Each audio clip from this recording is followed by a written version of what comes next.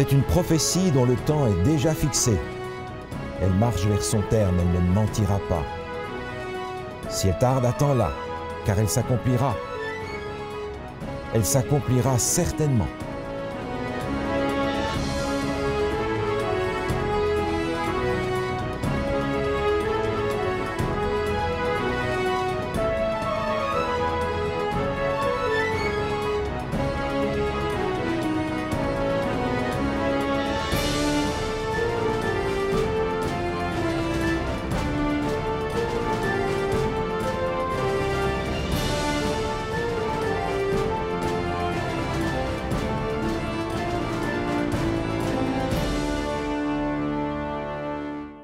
Bonjour à tous et à toutes. Bienvenue à cette nouvelle émission du chapitre 9 du livre du prophète Daniel. Aujourd'hui, dans le chapitre 9, nous allons essayer de mieux comprendre le chapitre précédent, le chapitre 8, qui était le début du troisième tableau prophétique. Nous avions vu le premier tableau prophétique lors du chapitre 2, le deuxième au chapitre 7, et maintenant le troisième tableau a débuté au chapitre 8, se complète au chapitre 9. Au chapitre 8, nous avons vu en particulier le sanctuaire de Dieu, là où se passe présentement le jugement final. Et ce jugement, on avait vu que c'était pour précéder, pour préparer les gens en fait pour le retour, le prochain retour de Jésus. Et aujourd'hui, pour mieux comprendre le chapitre 9 et aider à, nous, à mieux comprendre en fait euh, cette prophétie des 2300 jours ou années, nous allons essayer de tirer des éléments à partir du chapitre 9 avec le pasteur Scalier. Bonjour, pasteur Scalier. Bonjour, Michael. Bienvenue à, cette nouvelle émission, Merci. à cette belle journée d'après-midi ensoleillée. Merci bien. Quels éléments on peut tirer maintenant du chapitre 9 pour euh, peut-être venir s'accrocher, si on veut, au chapitre 8? Oh, le chapitre 9 est un chapitre extraordinaire. On va voir là une prière de Daniel et la réponse que Dieu va donner à la prière de Daniel est d'une importance colossale pour le plan du salut de l'humanité. C'est un chapitre crucial, c'est un chapitre qui comporte la bienheureuse espérance.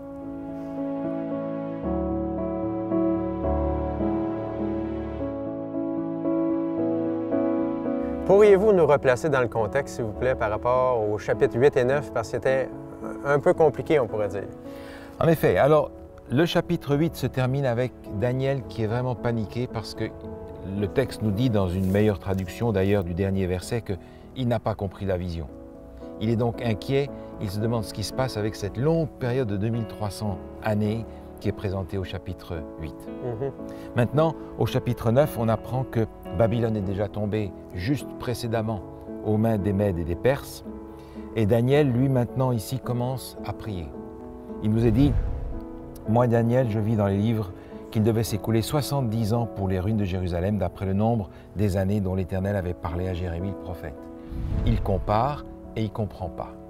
Donc, je me tournais, je tournais ma face vers le Seigneur Dieu afin de recourir à la prière, aux supplications, en jeûnant, en prenant le sac et la cendre. Je prie l'Éternel mon Dieu et je fis cette confession. Daniel ici s'approche de Dieu et ce qui nous est présenté dans le texte, supplication, prière, jeûne, sac, cendre, c'est véritablement euh, la prière de celui qui est dans le deuil, dans l'humiliation. Daniel se présente avec une grande humilité devant Dieu parce qu'il sait qu'il n'y a rien en lui. Et c'est de cette manière-là que sa prière va commencer, avec une grande humilité. Un homme qui est, qui, qui, qui est brisé et qui se présente devant Dieu tel quel. Lorsqu'on regarde cette prière de Daniel où il a ouvert son cœur à Dieu, c'est une longue prière. On a l'impression même qu'elle est plus longue que la vision en soi. On a l'impression aussi que Daniel est en, en train de demander pardon pour des péchés qu'il a peut-être même pas commis lui-même. Oui, c'est- c'est une admirable prière. Euh, en réalité, Daniel ici prend véritablement le deuil, le sac, la cendre. Il se présente avec beaucoup d'humilité devant Dieu, conscient de, de son incapacité, conscient de ce- des mérites qu'il n'a pas. Et cette prière, malheureusement, on n'a pas le temps de la regarder en, en beaucoup de détails, mais j'aimerais juste relever un ou deux points qui me paraissent extrêmement importants. Il s'adresse à Dieu au début et à la fin en reconnaissant à qui il a affaire. Seigneur Dieu grand et redoutable, toi qui gardes ton alliance et qui fais miséricorde à ceux qui t'aiment et qui t'obéissent. Euh, dans les versets qui suivent, il va passer à la confession. Et dans cette confession, il va utiliser cinq mots différents pour désigner le péché sous ses différents aspects. De cette manière-là, il, il donne l'impression de, de vouloir vraiment mettre tout en ordre avec Dieu. Et il parle des péchés non seulement des autres, de son peuple, mais nous avons péché. Mhm. Et finalement, dans cette prière, il termine en disant, euh, au verset 18, Car ce n'est pas à cause de notre justice que nous te présentons nos supplications, c'est à cause de tes grandes compassions. Seigneur, écoute, Seigneur, pardonne, Seigneur, sois attentif, Seigneur, ne tarde pas, par amour pour toi, ô mon Dieu, car ton nom est invoqué sur ta ville et sur ton peuple. Dans ce texte se trouve le nom de Dieu sept fois. Il est nulle part ailleurs dans le livre de Daniel. Mais ici, avec intensité, Daniel prie et reconnaît que ce n'est pas à cause de ses mérites. C'est une grâce pure que de recevoir la réalisation de cette promesse. Mhm. Et il rappelle à Dieu en finissant, n'oublie pas que ton nom en dépend, ta réputation en dépend. C'est une admirable prière. La vision qu'on retrouve dans le chapitre 9 se- fait référence au chapitre 8, la vision du chapitre 8, mais ça a été donné des années plus tard. Donc, Oui. comment est-ce qu'on peut faire le lien entre les deux? Alors c'est juste, Daniel lui-même va faire le lien. Sa prière, en réalité, est la suite de, de son incapacité de comprendre la vision du chapitre 8. Et ensuite, nous avons plusieurs indications dans ce chapitre qui lient ces deux visions l'une avec l'autre. Tout d'abord, il nous est dit que c'est l'homme Gabriel, l'ange Gabriel. Et il dit au verset 21, je parlais encore dans ma prière quand l'homme Gabriel, que j'avais vu précédemment dans une vision, s'approcha de moi d'un vol rapide au moment de l'offrande du soir. Donc il fait référence à ce personnage qu'il a guidé dans la vision précédente et qui le guide à nouveau maintenant et qu'il nomme par son nom. Il le connaît. Et puis, d'autre part, on a quelque chose d'important qui est donné un petit peu plus loin. Vous vous souvenez, le chapitre 8 se terminait avec trois indications de Gabriel qui disait à Daniel, attention, sois attentif, ça concerne la fin des temps, des temps éloignés. Et Daniel, pris par cette vision, n'avait pas écouté.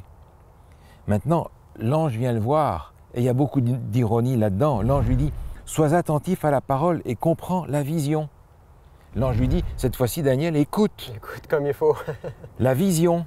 Et le mot qui est employé ici pour vision, c'est exactement le même mot qui est employé au chapitre 8, OK. lorsqu'il est dit au verset 26, Et la vision des soirs et des matins dont il s'agit est véritable. Donc le lien est fait parce que le vocabulaire est spécifiquement employé par rapport à la vision des 2300 soirs et matins et la vision qui lui est donnée ici, pour laquelle l'ange vient lui apporter une explication dont il a terriblement besoin et qu'il a demandé dans sa prière. Donc, nous avions un problème à situer les 2300 jours euh, dans le temps et maintenant, on, on vient clarifier les choses. Alors, le texte va continuer, nous donner Mhm. des indications à ce sujet-là. Mhm. Une période de 70 semaines nous est donnée. À quoi est-ce que cela correspond? Alors, le texte est assez clair. L'ange lui dit 70 semaines ont été fixées sur ton peuple et sur ta ville sainte pour faire cesser les transgressions et mettre fin au péché, pour expier l'iniquité et amener la justice éternelle, pour sceller la vision et le prophète et pour oindre le saint des saints. 70 semaines. On a bien entendu ici une période prophétique et j'aimerais simplement me reporter à ce qui nous est dit par rapport à ce principe jour-année. Dans le livre du prophète Ésaïe au chapitre 61, on retrouve cette même équivalence. Il est dit au verset 2, Publiez une année de grâce de l'Éternel et un jour de vengeance pour notre Dieu. C'est en rapport avec les années euh, du jubilé, où les deux mots sont ici mis en parallèle. Mhm. 70 semaines. D'emblée, on voit ici 7 fois 7 fois 10. Mhm. Et pour un juif, la chose est claire. 7 fois 7, 49, ça nous rappelle le jubilé. Il est question du jubilé dans le livre du Lévitique au chapitre 25, où il est question du sabbat pour commencer, tous les 7 jours. Ensuite, il est question de l'année sabbatique, tous les 7 ans. Et il est ensuite question du jubilé, tous les 7 fois 7 ans. Donc ce chiffre 7 est important ici parce qu'il nous met sur la piste du sabbat, c'est-à-dire du repos. Et en réalité, ce qui est offert ici, c'est le repos du repos, c'est la grâce de la grâce euh, qui est offerte au peuple. 7 fois 7, 49, la perspective du jubilé se trouve très fortement dans ce passage-ci. Maintenant, dans le livre des Chroniques, il nous a donné une indication importante par rapport à la déportation. Écoutez ceci. Nebuchadnezzar emmena captifs à Babylone ceux qui échappèrent à l'épée, et il les firent assujettis à lui et à ses fils, jusqu'à la domination du royaume des Perses, afin que s'accomplisse la parole de l'Éternel prononcée par la bouche de Jérémie, jusqu'à ce que le pays ait joui de ses sabbats. Il se reposera tout le temps qu'il fut dévasté, jusqu'à l'accomplissement des 70 ans. On a l'impression, quand on lit ce texte, et on va lire un texte dans le livre du prophète Jérémie qui dit la même chose, que cette déportation a été causée par le fait que le sabbat n'a pas été observé comme il faut. Ni le sabbat du quatrième commandement, tous les sept jours, ni les années sabbatiques, Mhm. ni les jubilés. Dans le livre du prophète Jérémie, il est dit ceci. Mais si vous n'écoutez pas, quand je vous ordonne de sanctifier le jour du sabbat, de ne porter aucun fardeau, de ne point en introduire par les portes de Jérusalem le jour du sabbat, alors j'allumerai un feu aux portes de la ville et il dévorera les palais de Jérusalem et ne s'éteindra point. La notion du sabbat ici est extrêmement importante et on se rend compte que le sabbat joue un rôle très important dans la compréhension du salut. Le sabbat, c'est le repos. Et le repos, nous ne pouvons l'avoir qu'en recevant le cadeau du salut qui nous est donné en Jésus-Christ. C'est par conséquent un thème ici essentiel pour comprendre cette prophétie. Nous ne pouvons pas être sauvés par nos mérites. Et vous vous souvenez que dans le chapitre 8, il était question de cette puissance politico-religieuse Mhm. qui avait mis le, le sabbat de côté. C'est en réalité un affront à Dieu, c'est une manière de lui dire, nous n'avons pas besoin de ta grâce, nous allons nous sauver tout seuls, par nos œuvres. Mhm. Le sabbat ici joue un rôle important parce qu'il nous conduit directement à celui qui apporte la grâce, à Jésus. Dans le texte que vous venez de nous lire, il est question de sceller la vision et oindre le Saint des Saints. Oui. Qu'est-ce que ça signifie? Alors, sceller la vision, en réalité, il s'agit d'accomplir la vision en question, ici, qui annonce des événements futurs. Et oindre le Saint des Saints est une expression extrêmement intéressante. On la retrouve dans l'Ancien Testament, en particulier en rapport avec l'onction des sacrificateurs. Euh, dans un texte que l'on a euh, dans le livre des Chroniques, au chapitre 23, il est question des fils de Aaron, qui sont les sacrificateurs.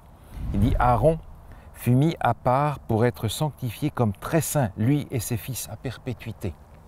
Cette expression saint des saints est en rapport avec l'onction de Aaron comme prêtre, comme souverain sacrificateur. Et l'expression qui est employée ici, on a trois mots que l'on retrouve ensemble dans l'Ancien Testament à un seul endroit. C'est le mot expier, le mot oindre et saint des saints. On le retrouve dans le livre de l'Exode au chapitre 29. Et nous n'allons pas lire le passage, c'est le verset 35 et tr- à 37, où il est effectivement question ici encore une fois de la consécration des prêtres. Le chapitre précédent nous parle des instructions données pour consacrer Aaron et ses fils. Mhm. Le, souverain sacrificateur est oint. Et nous comprenons dans les Écritures que Jésus est notre souverain sacrificateur. Alors quand est-ce que Jésus a été oint À son baptême? Mhm. où on se souvient que le Saint-Esprit est tombé sur lui, est descendu sur lui et Dieu a parlé. On a donc ici, avant même d'avoir décortiqué le texte, une indication qui nous montre que cette vision est en rapport avec Jésus, avec l'onction de Jésus, avec le baptême de Jésus. Et vous vous souvenez, tout à l'heure, on parlait de, de l'institution du jubilé, tous les sept fois sept ans. Mhm. Jésus lui-même, au début de son ministère, va introduire son ministère dans l'évangile de, de Luc au chapitre, au chapitre 4, en faisant référence à l'institution du jubilé. Dans l'évangile de Luc, au chapitre 4, Jésus va citer le prophète Ésaïe dans Ésaïe 61 et il va dire ceci. L'Esprit du Seigneur est sur moi parce qu'il m'a oint pour annoncer une bonne nouvelle aux pauvres. Il m'a envoyé pour guérir ceux qui ont le cœur brisé, pour proclamer aux captifs la délivrance et aux aveugles le recouvrement de la vue, pour renvoyer libres les opprimés, pour publier une année de grâce du Seigneur. Et Jésus dit juste après, aujourd'hui cette parole est accomplie. Le ministère de Jésus ici est au centre de cette prophétie. Donc, dans le chapitre 45 euh, d'Ésaïe, il était question d'un oint, il était question de Cyrus, en fait, qui était celui choisi par Dieu. Est-ce que c'est de ce oint-là dont on parle?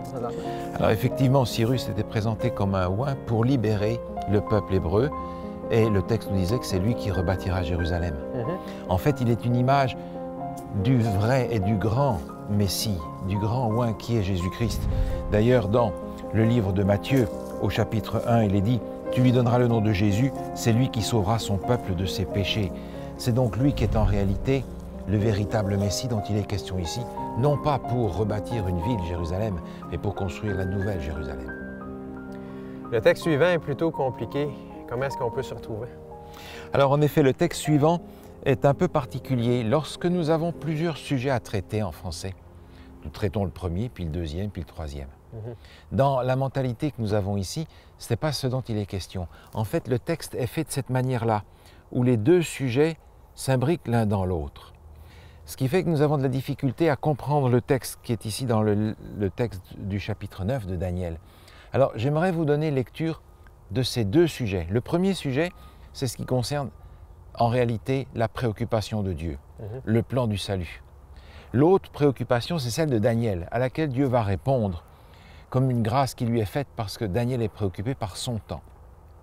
Deux sujets qui sont imbriqués l'un dans l'autre et permettez-moi de vous donner lecture des deux sujets séparément, bien que les textes les prennent d'une façon euh, l'une après l'autre. Mhm. Il est dit ici, Sache-le donc et comprends. Depuis le moment où la parole a annoncé que Jérusalem serait rebâtie jusqu'au Messie, au conducteur, il y a sept semaines et soixante-deux semaines. Après les soixante-deux semaines, le Messie sera retranché et n'aura pas de successeur. Il fera une solide alliance avec plusieurs pour une semaine, et au milieu de la semaine, il fera cesser le sacrifice et l'offrande. Voilà le premier thème, qui est en rapport avec le Messie. Mhm. Le deuxième thème se lit de la façon suivante. Les places et les fossés seront rétablis, mais en des temps fâcheux. Le peuple d'un chef viendra, détruira la ville et le sanctuaire, et sa fin arrivera comme par une inondation. Il est arrêté que les dévastations dureront jusqu'au terme de la guerre. Le dévastateur commettra les choses les plus abominables jusqu'à ce que la ruine et ce qui a été résolu fondent sur le dévastateur. Nous pouvons séparer ces deux textes parce que les deux sujets ont un mot clé. Lorsqu'il est question du Messie, c'est le mot semaine que l'on retrouve dans les trois morceaux. Mhm. Lorsqu'il est question de la reconstruction de Jérusalem, c'est le mot euh, fossé ou le mot ici qui est utilisé, qui est tranché, que l'on retrouve dans les trois parties. Ce qui nous permet de séparer les morceaux les uns des autres. Donc nous avons ici le texte qui nous parle des 70 semaines en rapport avec Jésus, et il commence en disant il y a 7 et 62 semaines. Mhm. Alors maintenant, on peut dire qu'on on aurait un point de départ pour la prophétie. Alors oui, le point de départ nous est donné. Est-ce que dans le temps, on retrouve euh, ce, moment-là pour qu'on puisse commencer à faire des calculs? Tout Parce qu'on a des, toutes sortes de, semaines, des 2300 soirs et matins du chapitre 8. On aimerait commencer à savoir où on, se trouve dans le temps, oui? Oui. Alors le texte nous, nous dit ici, depuis le moment où la parole a annoncé que Jérusalem serait rebâtie jusqu'au Messie. On a en réalité eu la déportation en trois vagues et on va avoir de la même manière euh, le retour par les édits en trois parties. Le premier édit, c'est celui de Cyrus en 536 qui va permettre aux Juifs de rentrer et de reconstruire le temple d'une façon particulière. On va ensuite avoir l'édit de Darius, Darius Ier, qui va apparaître en 519 et qui est une confirmation du premier. On le trouve dans l'île d'Esdras, au chapitre 6. Le premier, celui de Cyrus, on le trouve dans Esdras au chapitre 1er. Et finalement, le troisième, c'est l'édit d'Artaxerces, longue main. Il devait probablement avoir une longue main. On suppose. Et cet édit est publié en 457 avant Jésus-Christ.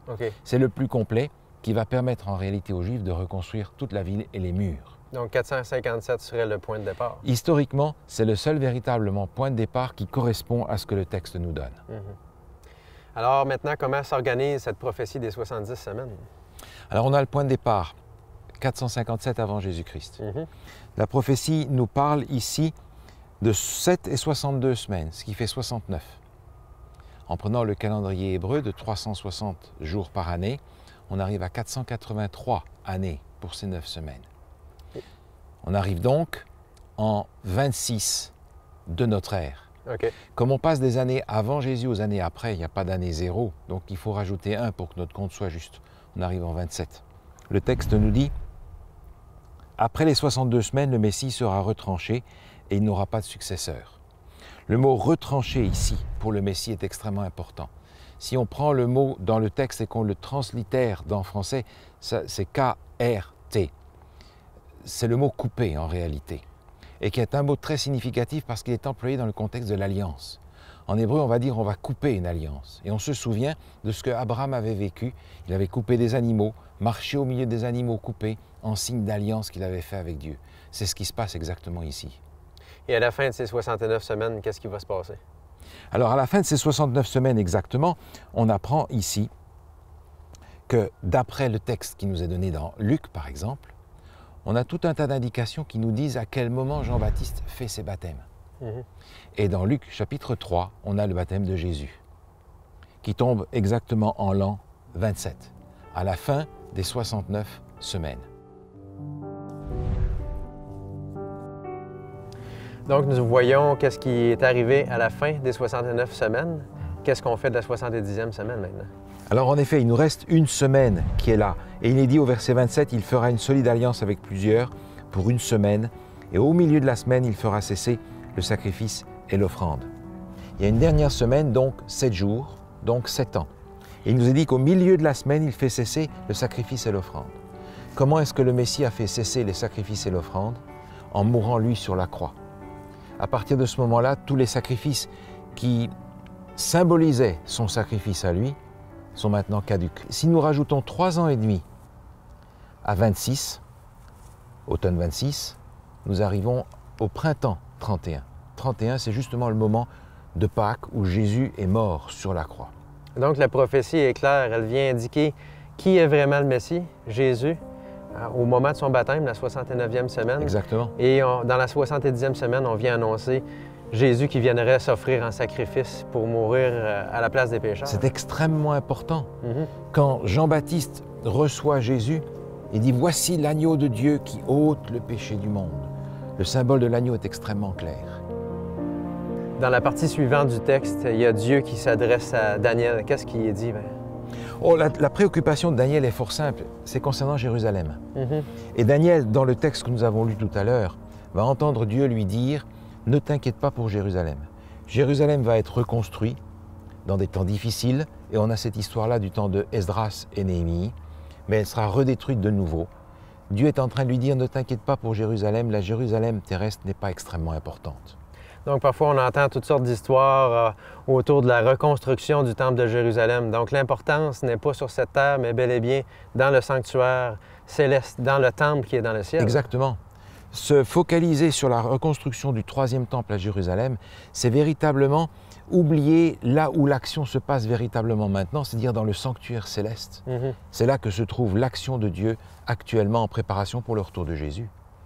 La prophétie des 70 semaines et celle des 2300 soirs et matins vont ensemble finalement, parce qu'au verset 24, c'était mentionné que la prophétie des 70 semaines était retranchée d'une période plus grande. Exactement. Donc celle des 2300 soirs et matins. Exactement. Donc on peut commencer à faire des calculs. On revient au chapitre 8. nous avions la période des 2300 soirs et matins, sans point de départ, mais maintenant, nous avons un point de départ qui est 457 avant Jésus-Christ. Exactement. Donc, où est-ce que cela nous amène et quel est cet événement? Alors, il suffit de faire le calcul, il est fort simple.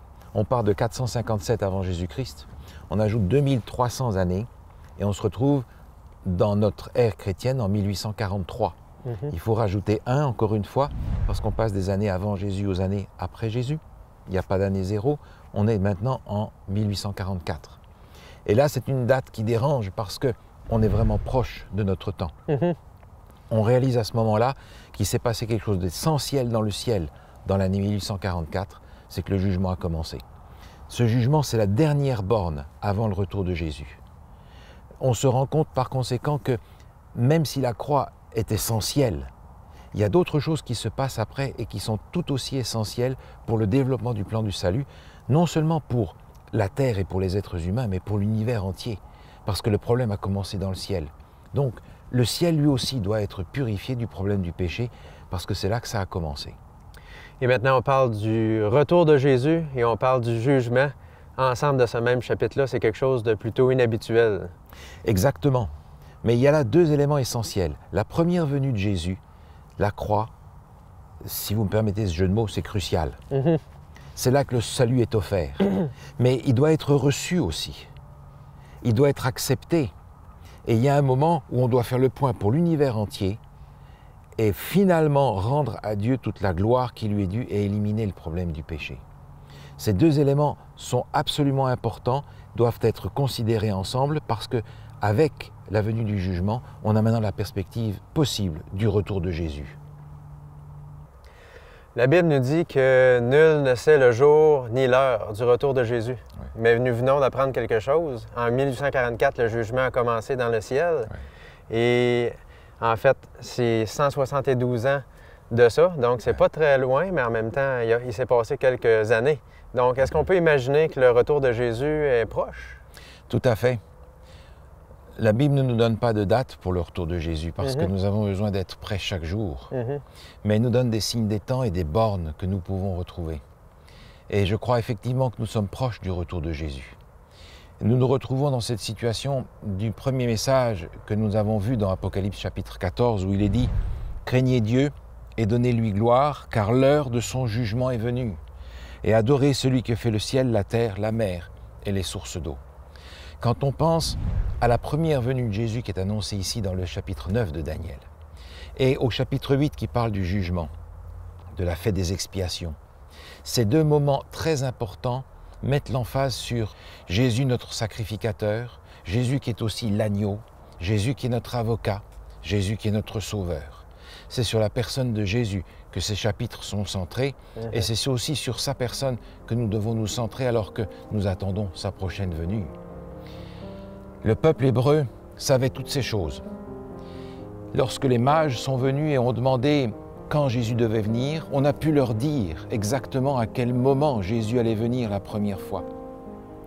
Mais lorsque Jésus est venu, ils l'ont rejeté. Aujourd'hui, nous savons ces choses en ce qui concerne la deuxième venue de Jésus. Et je me pose la question, est-ce que nous sommes davantage prêts pour la deuxième venue de Jésus que le peuple hébreu l'était pour la première venue? En ce sens, je crois que nous sommes invités, comme Jésus le faisait comprendre dans l'Évangile, à veiller et à prier. Dans l'Évangile de Luc au chapitre 21, il est dit, Veillez donc et priez en tout temps, afin que vous ayez la force d'échapper à toutes ces choses qui arriveront et de paraître debout devant le Fils de l'homme. Qu'il en soit ainsi pour chacun d'entre nous.